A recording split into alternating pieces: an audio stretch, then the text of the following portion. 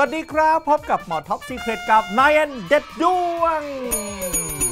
นะฮะเจอกันอีกครั้งหนึ่งนะครับกับเรื่องราวดีๆ และช่วงนี้เนี่ยนะครับมีเรื่องราวที่น่าติดตามกับ Nine Entertain นะครับกับ Nine Entertain Award บอกได้เลยว่ารางวัลงานนี้เนี่ยไม่ธรรมดา เพราะถือว่าเป็นรางวัลคุณภาพ แก่นักแสดงหน้าม่านคุณภาพ หลังม่านคุณธรรมคอนเซปต์ถือว่าสุดยอดมากครับ รักใครเชียร์ใครก็ติดตามกันดูนะครับ ทีนี้เนี่ยนะครับแล้ว Nine เอ็นเด็ดดวง Award ของเราเนี่ยเป็นยังไงกันบ้างดีกว่า เรามาดูในแนวของเราบ้างนะฮะ เพราะว่าวันนี้ Nine เอ็นเด็ดดวง Award เราจะมีการประกาศรางวัลของราศีของคนที่ทำดีมีคุณภาพกันด้วยนะครับ ส่วนจะเป็นราศีไหนได้อันดับอย่างไร เดี๋ยวเราติดตามกันนะจ๊ะ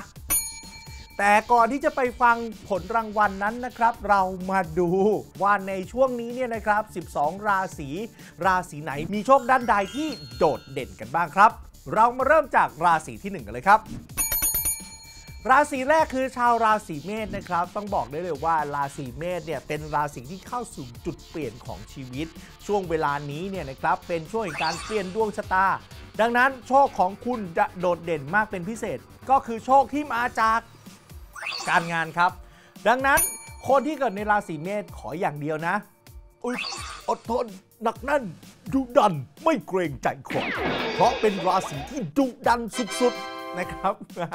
ดังนั้นเนี่ยนะฮะการงานสำคัญมากนะครับ ขอให้คุณอดทนก็แล้วกัน เพราะความอดทนความตั้งใจจะนำมาซึ่งความสำเร็จที่ยิ่งใหญ่ที่สุดครับ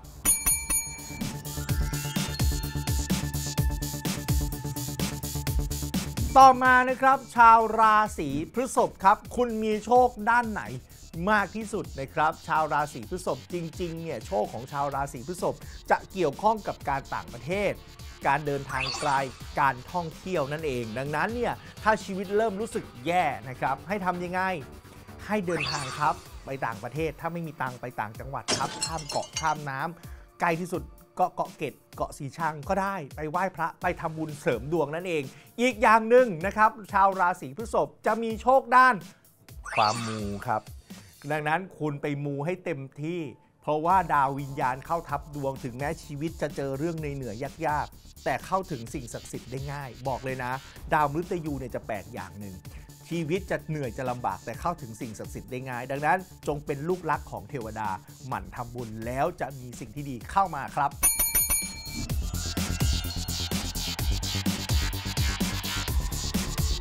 ต่อไปโชคของชาวราศีเมถุน เมถุนมีโชคด้านใดเป็นพิเศษนะครับเขาบอกว่าเมถุนเนี่ยมีโชคที่เด่นมากคือโชคเรื่องงานเหมือนกัน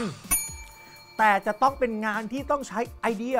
ความคิดสร้างสรรค์ และก็ความแปลกใหม่การคิดนอกกรอบ จะช่วยทำให้ชาวราศีเมถุน โดดเด่นมีพลังมีเงินทองนั่นเอง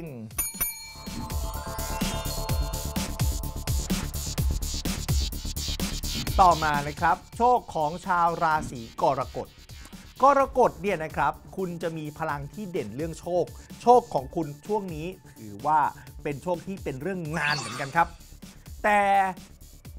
กรกฎเป็นช่วงที่คุณต้องพิสูจน์ตัวเอง เพราะดาวตอนนี้เข้าเกณฑ์ไม่เชื่อต้องพิสูจน์ กรกฎจะต้องพัฒนาฝีมือศักยภาพความสามารถ เพราะตอนนี้เหมือนถูกลองของลองวิชา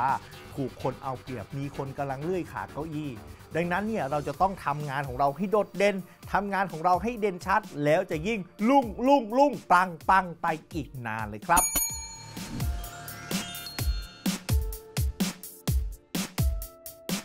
ต่อมาโชคของชาวราศีสิงห์นะครับ ในช่วงนี้คุณมีโชคกับอะไร สิงห์นะครับจะมีโชคเกี่ยวข้องกับ โอ้โหทั้งงานทั้งเงินมาหมดเลยจ้า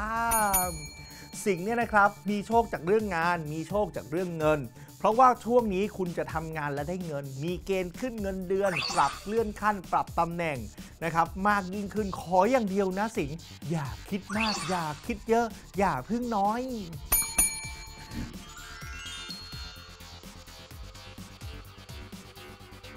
ต่อมาโชคของชาวราศีกันเป็นอย่างไรกันบ้าง ราศีกันก็เป็นลูกรักเทวดาเหมือนกันนะจ๊ะ ช่วงนี้ดาวพระเกตมงคลดาวสิ่งศักดิ์สิทธิ์เข้าถึงดวงชะตา จึงเป็นช่วงที่ทำบุญเสริมดวงทำอะไรก็ได้ดิบได้ดีมีความสำเร็จ เพราะความคิดมันเยอะมีเรื่องให้ฟุ้งซ่าน ดังนั้นเนี่ยนะครับจะต้องเสริมดวงเกี่ยวกับการไหว้พระทำบุญขอพร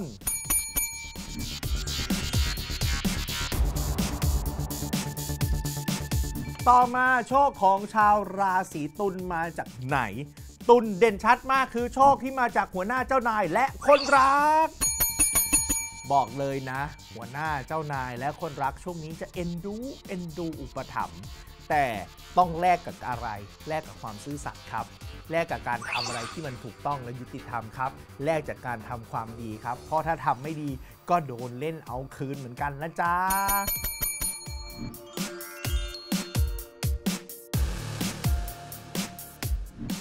ต่อมาโชคของชาวราศีพิจิกเป็นยังไงบ้าง ต้องบอกเลยว่าโชคช่วงนี้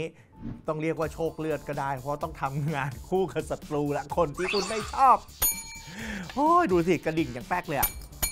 เออพิจิกนะ แต่จริงๆเนี่ยนะครับมันแปลว่าคุณอาจจะต้องเจอ หรือต้องปรับตัวกับสิ่งที่คุณไม่อยากทำต้องทนกับแรงกดดันสักหน่อย เพราะต้องแลกกับอะไรกับงานกับเงินและความสำเร็จ ถ้าคุณผ่านในช่วง 1-2 เดือนนี้ไปได้ บอกเลยว่าพิจิกรวย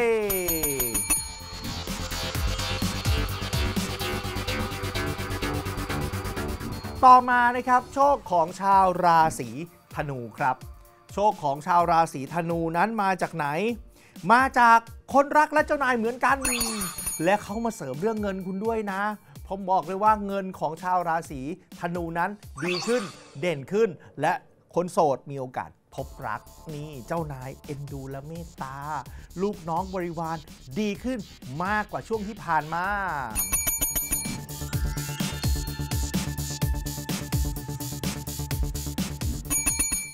โชคของชาวราศีมังกรมาจากไหนครับ มาจากความขยันครับ ยิ่งขยันมากยิ่งได้มากช่วงนี้ ขยันปุ๊บเจ้านายรักและเอ็นดูเพราะจะมีโชคจากหัวหน้าและเจ้านายด้วยเหมือนกัน ช่วงนี้ทำอะไรผู้ใหญ่เห็นฮะทำอะไรก็ดูดีไปหมด ขนาดนอนหลับอยู่ในที่ทำงานตื่นมาเจ้านายเข้ามาเรายังดูขยันต่อหน้าเขาเลยนะครับแล้วช่วงนี้คนรักก็เหมือนกันนะ คนโสดก็จะมีแต่คนมาตามลุกตามจีบแต่ช่วงนี้มังกรไม่ค่อยอยากมีใครเออ ส่วนคนที่มีแฟนแล้วก็หักห้ามใจให้ดี เพราะว่าเด็กมันยั่วเลยล้วมตัวไปหน่อย รู้อายุพี่หมอทันที นะครับ ดังนั้นดีชั่วรู้หมดอดไม่ได้ มังกรก็ต้องระวังไว้ เพราะเดี๋ยวจะเป็นภัยตามมานะจ๊ะ อย่าหาว่าหมอไม่เตือน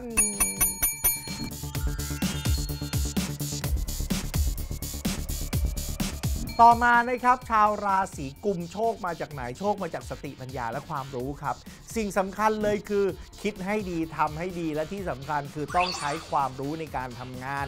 ลาบลอยของฟรี ไม่มีจ้า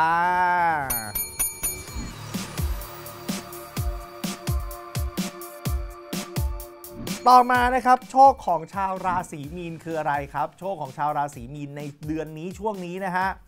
ก็คือความอดทนครับ ขออย่างเดียวว่ามีนต้องอดทนต้องอดใจรอ อดทนหลายอย่าง อดทนอย่างที่หนึ่งคือ อดทนไม่ใช้ตังค์อดทนไม่ช้อปปิ้ง เพราะช่วงนี้เงินมันไหลออกแบบโอ้โหสนุกสนานเหลือเกินนะครับและที่สำคัญต้องอดทนต่อแรงกดดันให้มากขึ้นด้วยนะครับ เพราะว่าถ้าคุณอดทนผ่านไปได้ คุณก็จะแข็งแกร่งเป็นดั่งเพชรนั่นเอง และนี่ก็คือ 12 ราศีนะครับที่มีโชคส่วนโชคจะมาจากทางไหน ต้องลองไปติดตามย้อนฟังกันเอาเอง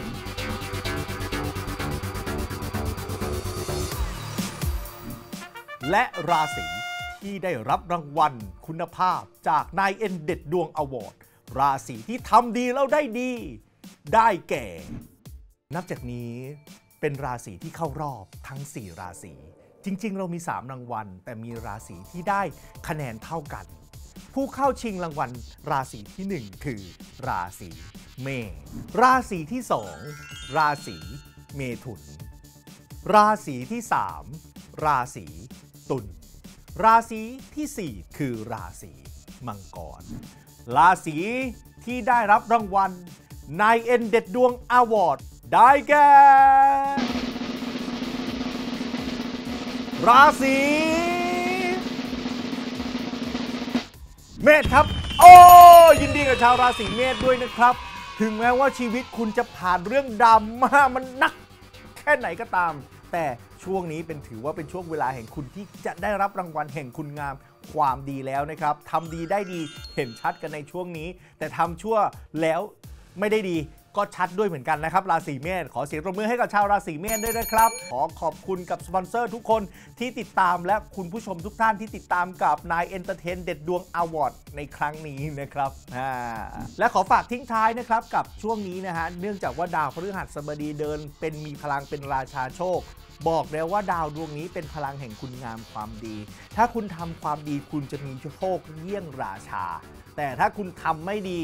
ก็โดนเอาคืนจาก